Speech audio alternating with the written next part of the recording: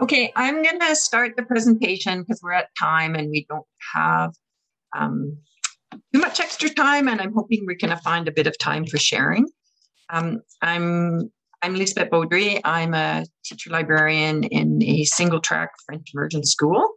I want to start by recognizing um, that I live and work and play on the unceded territory of the Lheidli T'enneh. And one of my goals to help um, reconciliation is the work on continuing to translate um, some of the local Lheidli T'enneh stories to French, which I have done some already. I chose this topic for the um, um presentation this year because um, I was inspired last year by Rebecca Rubio, and I conducted an audit, a diversity audit of my English resources because I knew in French I didn't have very many. And um, I looked at cultural diversity and I compared my stats to um, the Stats Canada information on Canadian diversity. I looked at the main character and the author, and I think really trying to look at um, authentic voices. Because um, now we're talking less about own voices and more authentic voices. And I looked also at SOGI, um, but I didn't look at other kinds of diversity uh, like poverty or family type because we have the kind of diversity also in my school. Then I had a grant to um, purchase books. And so my idea of this um, presentation is to share some of the resources I found. And hopefully we can have a little bit of time if you have some resources you have that you can share, because for sure I have not found everything that's out there. And um, one of the comments I just wanted to make before I get started is the importance of um, avoiding the pitfalls in diversity, which are showing only suffering, showing only surface level diversity, ignoring inter- intersectionality, so diversity in several things like culture and poverty or culture and SOGI, um, the sidekick syndrome, where the it's not the main character. So I had looked at main characters in my survey, um, treating groups as monolith, and um, just stopping at text and looking at images as well. So, um, in recognition of, um, let's see if I can get this to work here. Do I change my slide? Hmm. Okay, here we go. So, in recognition of um, the first NAT, NAT Journée Nationale de Vérité et Réconciliation, I decided to start with Aboriginal stories. And I'm talking a bit about where you find them um, and what I found that it's actually got the, the, intersectionality of written in French initially and also um, uh, be, being a French First Nations author. So some of the places you can look are La Librairie Hannenorak. Um, it's a quite a small publishing house, and that picture of Hannenorak and Les Rêves by Jean Sioui. Uh, she's a Wendat, or a, what historically we called Huron. Um, and uh, her books are published actually from that live, uh, bookstore publishing house. Um, locally, we have Strong Nations, which has an amazing collection of books that are translated, but also some uh, French French Aboriginal authors, and Good Minds out of Ontario. And so these are some images that I have of um, authentic voices. So Jean Sioui, which I talked about, who's Wendat. I also have um, uh, uh, Michel Noel books. He has a whole series of books. This is La Papine Chinois, so that's kind of like a grade three mini chapter book. I really love Sylvain Rivard, who started as an artist and is writing books, and he has this series of clothing items you have to be careful. A lot of them are really good for early primary, but he has one on missing women. Um, it's called the Poupée, and it looks like it's in the same series, but it's more like a grade seven school book. Um, a new one that I haven't read that I'm waiting, I've ordered is Isabelle Picard, um, Nish, and I think there's a second one in this one as well. And um, another book that I quite enjoy is Mingan, which is a collection of Inuit stories. And I've used that quite often um, when we talk about poetry because they're poetic. Um, and the three pictures of albums on the kind of right bottom corner are actually um, they we put them in authentic voices, or I've kind of put them in authentic voices because they're people that have either worked a long time in an um, Aboriginal community or used um, had their work reviewed by elders. So one of them is Etienne Poiret's book Niska, which is probably like my grade seven teacher this year told me, oh no, uh, that would be better in kind of eight, but that's kind of the level I see that book. Swiftton, I haven't read yet, um, and Josie Laflamme, um, married to an Inuit uh, person of Inuit heritage. And um, La Ronde des Saisons is written by a lady that lived a long time in uh, the North. Um, one other thing that um, I worked on a while ago with my um, Aboriginal education worker at the time, Amber Desjardins, is we worked looked at books that were out at that time that worked with um, the learning outcomes. By if you go to that website and you scroll down to the bottom, or maybe partway down, you can see this resource, the kindergarten page of um, what it was a team project, and I never completed the English part. Oh, someone says, I love Nish. It is great. So that's great. Um, and I think she has a second one. Okay. Um, okay, so the next slide shows because this finding authors that are actually Aboriginal and French speaking first, so the French language is good, is really difficult. So instead, I've also added this slide of books that I find that when they're translated are actually a really good level for French immersion. So you're not sitting there reading them and actually paraphrasing them, but you can actually read the text. So I love Mon nom est tonnerre. So Sherman Alexie's book, the kids love that one. Um, Monique Gray Smith, some of her books are difficult, but this one here, Nous sommes gentils, I just recently got. I've shared it already. Uh, everyone loves it. It's quite a good level image. Um, La Chandaille Orange de Phyllis is more intermediate, like Chinchieko and Shishi's Le Canot de Chichi, but those are um, both authors that we use I use quite frequently. A little harsher presentation of the history is Je ne suis pas numéro. Um, I ha- also have Nana Beauchot and Les Papillons, um, which is a good story. And I really love the level of Les mots volés. And I like the fact that the pictures and the text can be read at a wide range of grades. And it's got a lot of um, inference in that book. And so if you're reading it with grade three, you can just read the text. But if you're up with the intermediates, that's the one I read last year for National uh, Aboriginal Day, you can get the students making the inferences about why the grandfather happy that the girl hair flowing in the wind, right? There's lots of um, information in there but at different levels. Um, I recently bought, um, I'm kind of jumping around here, David Robertson's um, series, um, Le Chef, and um, I, the students quite like those. Um, someone else mentioned in the chat David Bouchard, and he is French and he does write, but I find his books um, they're really difficult. But the um, they're really difficult, and it's really a series of books that I paraphrase. So it's definitely worth looking into them. They're definitely books that are have the two things I'm looking for: a French author that is um, writing in French with the Inuit, with the Aboriginal heritage. So really good representation. But I find that in English they're better. Um, well, in English, you can read them because it's, it's a bigger vocabulary. But for French immersion, they would be, um, you know, grade seven, six, seven, eight, nine, definitely higher middle school ages. And then I just put in the picture of sometimes I feel like a fox because I bought it before it got translated, and you can see my translation is glued in there. And I seem to be doing that a little bit more frequently, just meet that need. And that's my kind of my goal locally is to take the um, completely Tene texts that I have and, and make them available to my teachers. A lot of them are level.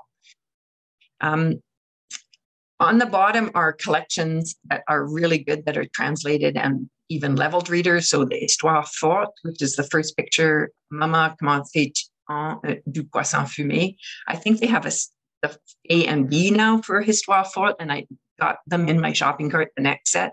Um, use them a lot with different you know, right in the social the Sciences Humaines, the social studies curriculum.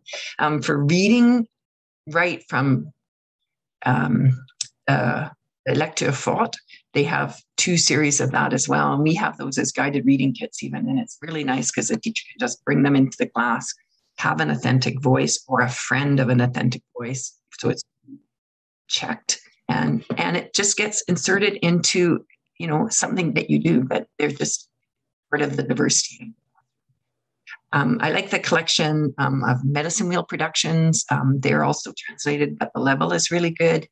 I bought some Turtle Island Voices, mostly more around subject areas because they're quite a bit more expensive than the Strong Nation ones, um, but also very nice stories.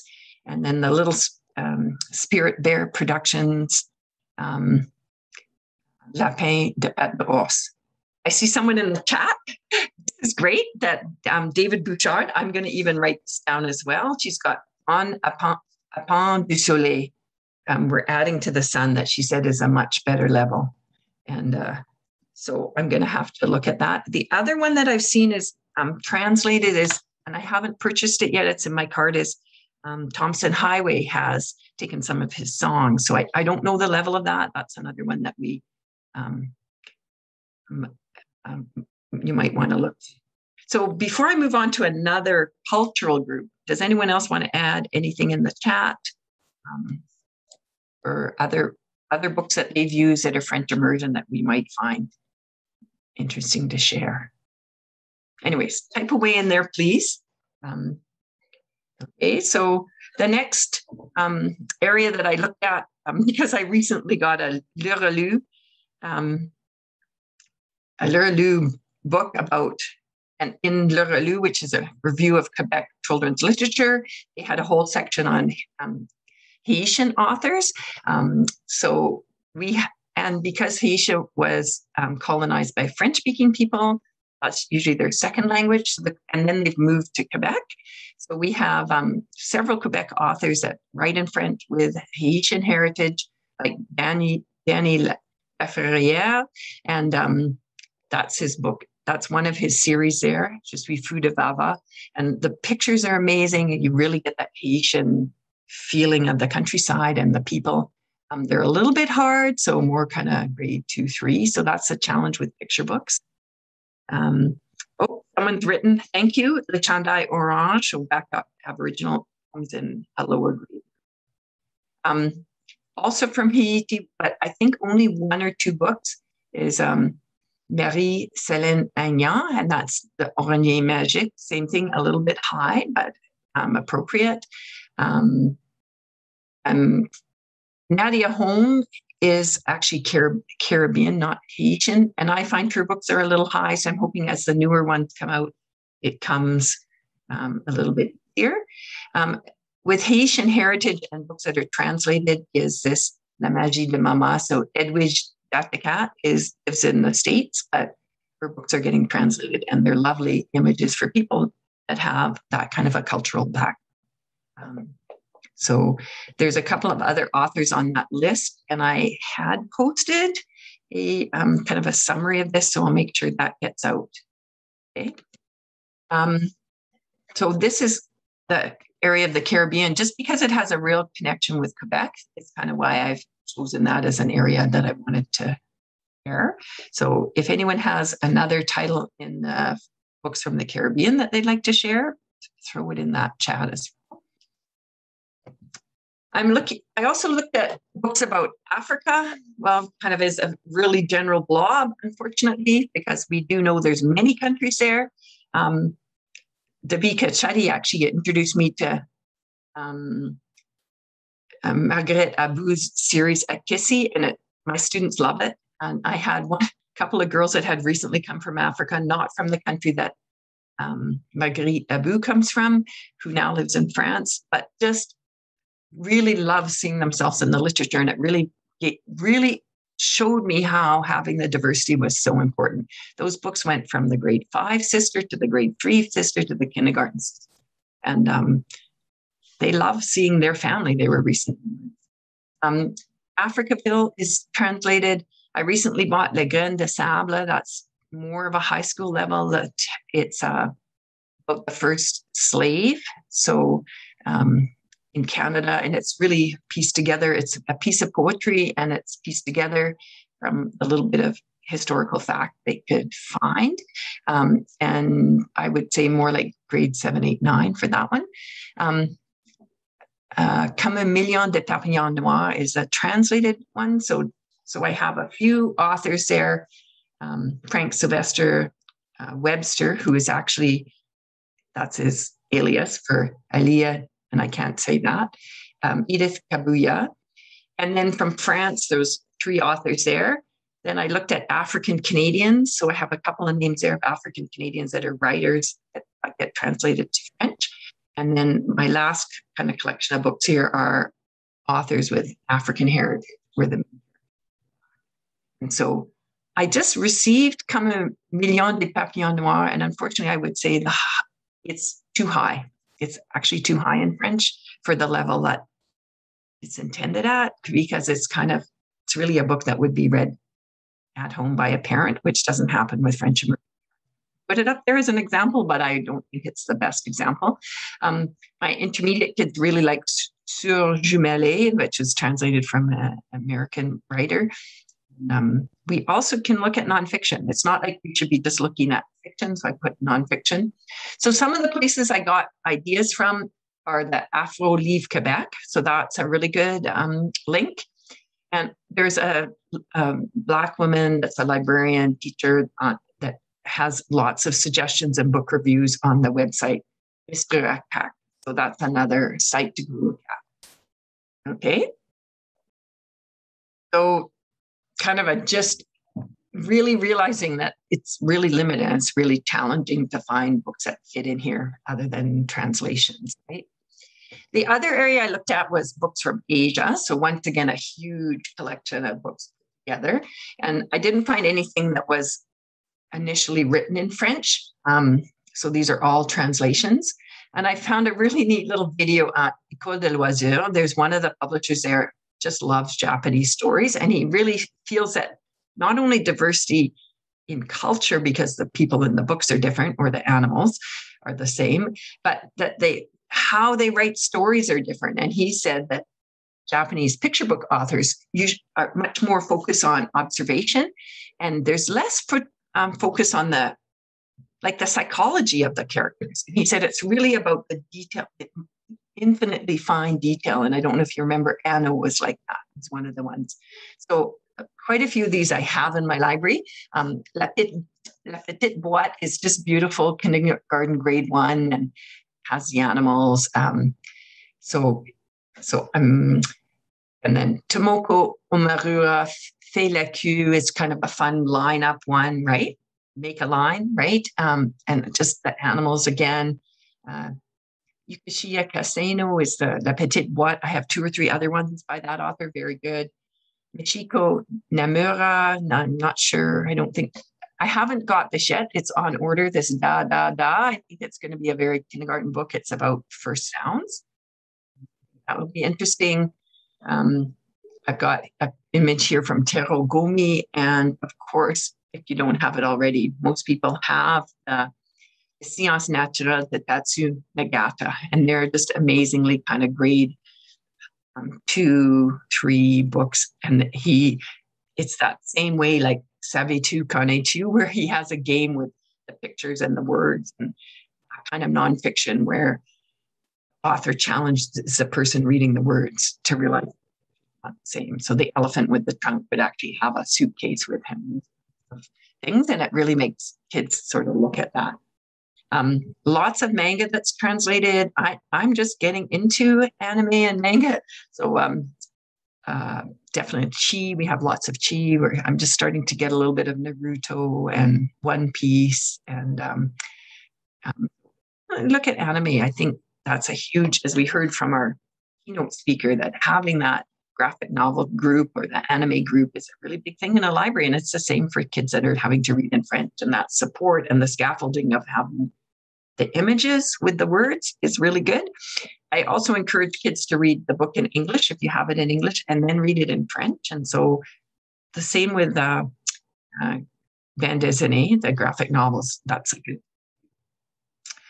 Um, so for Japan, I would, um, there's a w- French website of someone devoted uh, to all ages of literature, but a Journal de Japan. So there's a link there. And a nonfiction book that's a collection of translated haikus, um, always used in my poetry section. Okay. Uh, after that, I looked at um, Korean authors, and I have guys, I have quite a few Korean authors that are also translated in France. Um, La Vague is a pictureless book, so I use that with my kindergarten students to teach them to read pictures. Parapluie Vert is actually about poverty, but also, um, no, that one's about friendship. I have the Parapluie Jaune, which is about poverty. Um, so different um, authors are listed there. Um, and also, um, there's a couple of Korean writers that write great nonfiction books about different kinds of animals. And so, like the Chauve-souris is a series from Mango Jeunesse that is originally is a Korean author. Um, for India, I've just started looking. I'm realizing more and more I have Have to look more at from India. So I've just purchased this Beau Crapaud. This author has several books that are translated to French. Um, so I'm hoping when it comes, I'll be able to see the level. I'm just putting up there as an example. I haven't actually been able to see inside. The challenge of being a French immersion librarian, right, is you can't see in the books. Um, I have a couple of other books that are kind of fun that fit under Chinese, say Mon Imaginaire Chinois, so just a little picture book, and I have two or three in the series Learning Chinese Painting. Um, so um, there's a couple of authors there. Um, site, so a site, if you're looking for diversity, that I find was really helpful for finding different, especially Asian authors, was to go to Jeune, which is a Swiss site um, that um, reviews children's literature. So you get a good review on it, and you can actually search by nationality there. So that's kind of a really good resource to identify books and then to read the review to see do you think that would fit in your collection or is it going to be too difficult for French immersion? Um, so really a you know a helpful site for this. Okay. Um, so um, so culturally, I went really broad and I didn't really include European because I feel that we all have a lot of French from France books, or maybe not a lot because the French is harder. Um, I didn't really include a lot of books in that category. The other category that we talked about that I wanted to talk about that I did some research on was um, SOGI books. Um, and so I know for sure that the Quebecois author Sophie Labelle um, identifies as a trans person and as writing. And so the collection Ciel actually has two books now, definitely um, more grade seven, eight, nine. Um, but it's actually super exciting that it's a, such an authentic voice, right? I think some of these other books are also authentic. I kind of have the feeling is Song is. It's a very quiet um, book. Uh, let me flip to my page. Um, that it's about two men that live together. Andre Poulain has written a book, so more of a friend of SOGI people. Um, and Alice has been out quite for quite a while. It's about the two mums. Philomene M is from France, so that's a French author. It's about a little girl that all the boys fall in love with her. He would really like to be a, fall in love with her friend that's a girl who she would prefer. UPA is kind of just gender expansive. Elise Gravel is very um, supportive of SOGI. Um, other authors from France are Alice Bruyère Hackett, so the princess who doesn't doesn't like princes. Beatrice Boutignon has written Tango à deux papas, and I know there's an English and American written version of the same story. That's very useful. Also from France, Marie de Rose, um, gender expansive. Um, someone's added the link to Scholastic, Le Prince et les Chevaliers, right? So that's another good one. Um, is that so? Just make a comment if you uh, grade level for that one, right? The other ones that I like that are actually translations from Polish, and they're more about gender expansive than really SOGI or the, the Déclaration des droits des filles. There's one for fille, garçon, maman, et papa. Um, and it's really about how you can be everything under that and you don't fairly so just very gender expansive um, quite an easy level but it'll end up being mine's being put in my intermediate. I, I don't do my cataloging. I'm really lucky i have a dlc commons that does Um, so there's a couple of links there. One is to um, uh, the, the Bookstore Association in Quebec has a list of homosexuality in books that are appropriate for school. So there's some listed there, more than what I have here. And the other place that I like to get um, um, reviews on books and ideas about books is uh, the Bibliothèque de Montréal, and they have a section called De Point. And uh, there's a couple there that fit under the idea. Category 26, I think, is sexual diversity, but they also have another one on gender expansive. So book lists that they think are like the best. They're full star. Um, and they uh, pay for really good reviews. And so I find the reviews on their site are.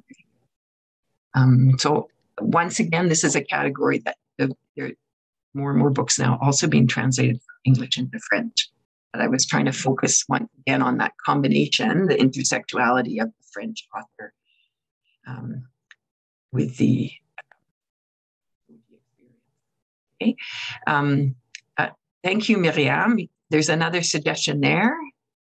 Uh, something for puppy, the link on the site there. So definitely check into that one as well. Um, so I just want to say thank you for listening and a little bit of sharing we have. I don't know if anyone wants to um, type in a question. Um, I'm hoping that sort of gives you an idea of kind of where I'm going with that, um, the diversity of my collection, and maybe where you can look for some ideas for your.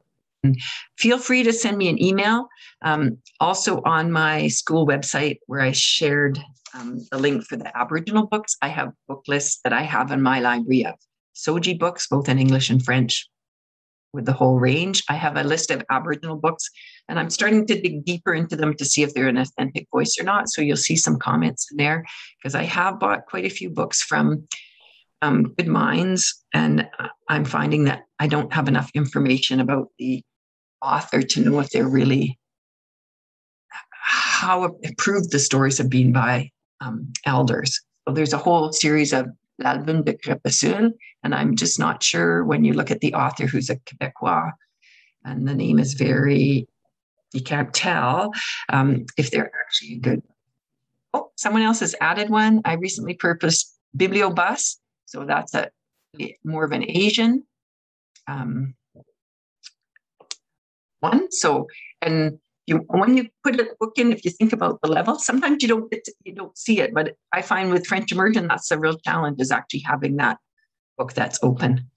So we just have a couple more minutes here before our time is up, and I'm hoping you enjoyed uh, the presentation. And definitely feel free to reach out to me. I'm really passionate being in a single track school about how to support my French immersion.